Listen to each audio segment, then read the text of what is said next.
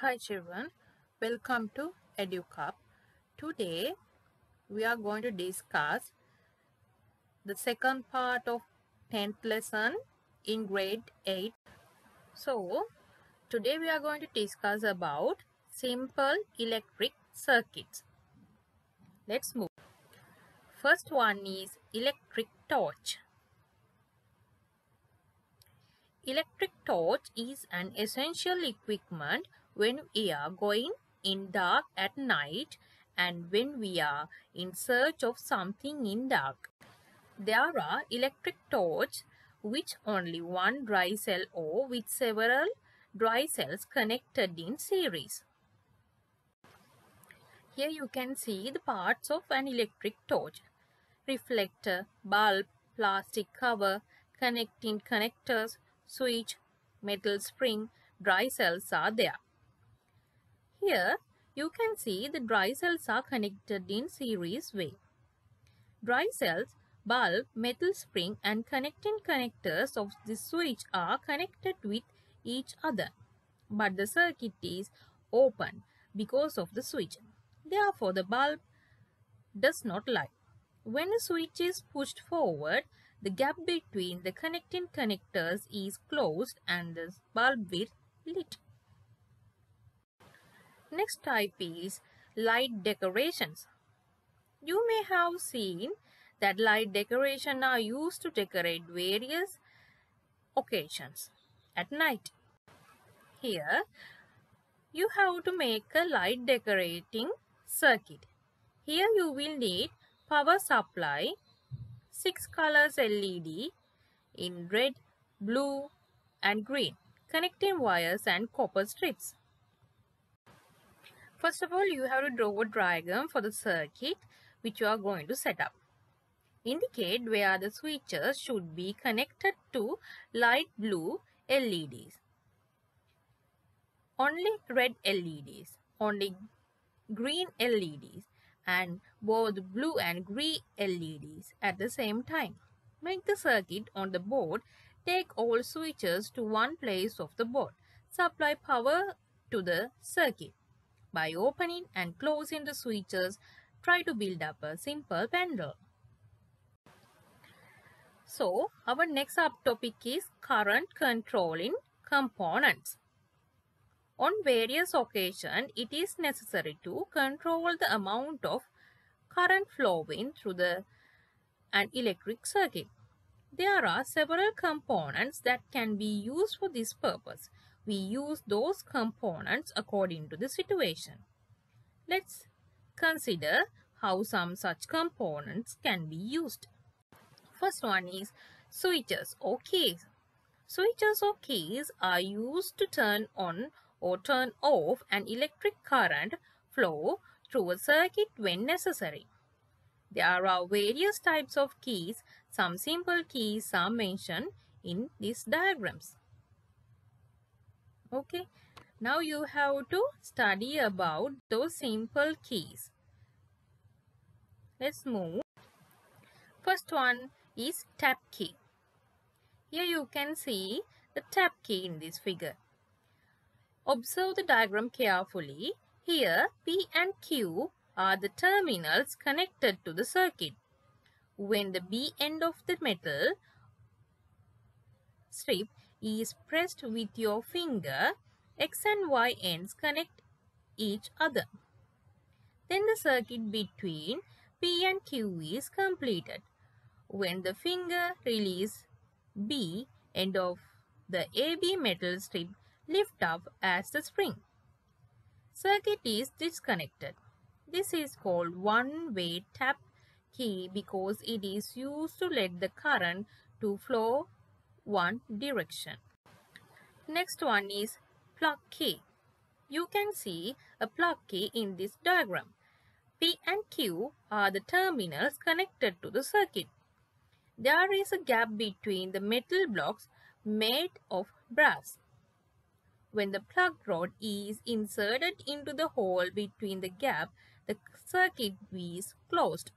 When the plug rod is removed, circuit is disconnected.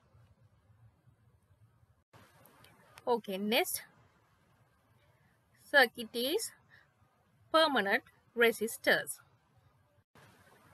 Obstacle to flow an electric current through a conductor is called the resistance. Components that have the property of resistance are known as resistors. Copper wire are used to connect circuits because their resistance is very low. Resistance of wires made by the nichrome and manganese is very high. Therefore, wires made of metals like nichrome and manganese are used to make resistors. There are resistors made to certain fixed values in the laboratory. They are known as fixed resistors. You can see several types of fixed resistors here.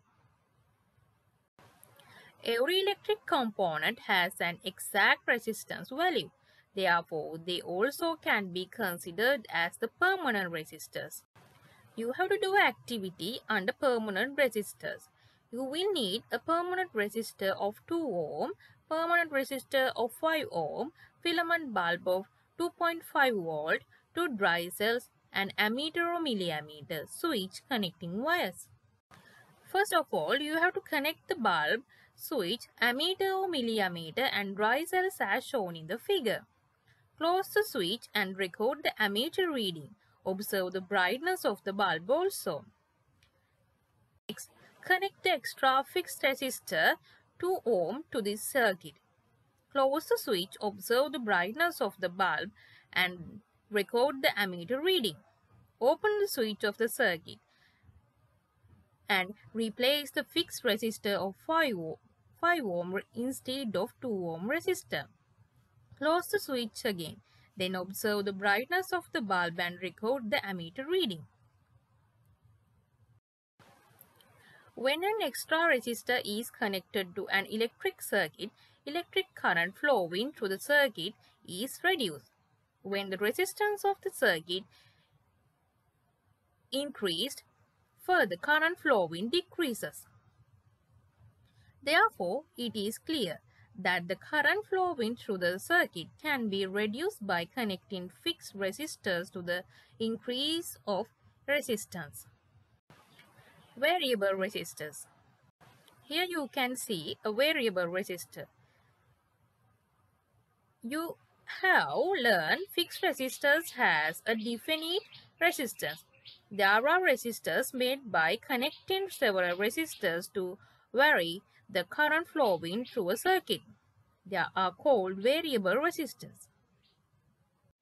You have to do an activity by using variable resistor. You will need a filament bulb, two dry cells, switch, milliammeter, variable resistor and connecting wire.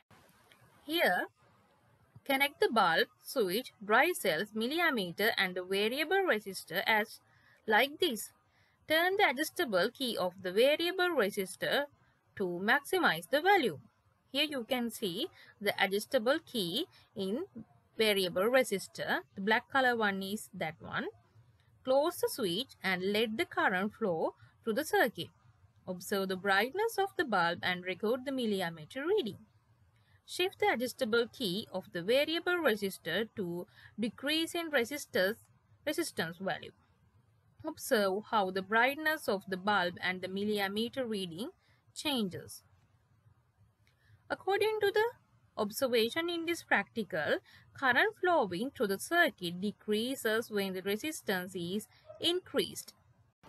Rheostat A rheostat is a variable resistor in which the current with the necessary value can be obtained. A rheostat is connected to the circuit by the terminals A and C or B and C. Necessary value of resistance can be adjusted by moving the slider. Look at the parts of the rheostat. There's a slider, terminals, nichrome coil are there. You have to do an activity by using the rheostat. Here you will need rheostat filament bulb to dry cells, switch, ammeter or milliammeter or connect. Connect the bulb, rheostat, switch, milliammeter and the cells and construct the circuit. Close the switch, the bulb lights the milliammeter shows the reading relevant to the current flow. Then shift, shift the slider of the rheostat to and fro. You can observe the change of the brightness of the bulb and the milliammeter reading. Shift the slider of the rheostat to read the values of the current you selected in milliammeter. According to this activity, it is clear that current flowing through the circuit can be changed to our requirement using a rheostat. Next type is light dependent resistor. There are resistors that change their resistance when intensity of light falling on them changes. Such resistors are known as light dependent resistors LDR. Here you have to do activity by using LDR light dependent resistor. You will need a light dependent resistor, filament bulb milliammeter, two dry cells, switch and electric torch. Construct the circuit connecting bulb, milliammeter, light dependent resistor, switch and dry cells like this. First cover the light dependent resistor so that no light falls on it. Record the observation. Then move the, move the cover and let light the environmental faults on the light dependent resistor. Record your observation. Then light the electric torch and direct its light on the light dependent resistor. Record the observation. Here, when light falls on a light dependent resistor, its resistance decreases. Therefore, current flowing through the circuit increases. When the intensity, intensity of light falling increases, the resistance decreases. Therefore, current flowing to the current increases further. The light dependent resistor can be used to control the electric current flowing through a circuit. Next one, soldering tools. When electricity is supplied to the tool, the tip of this tool gets heated. So the melted soldering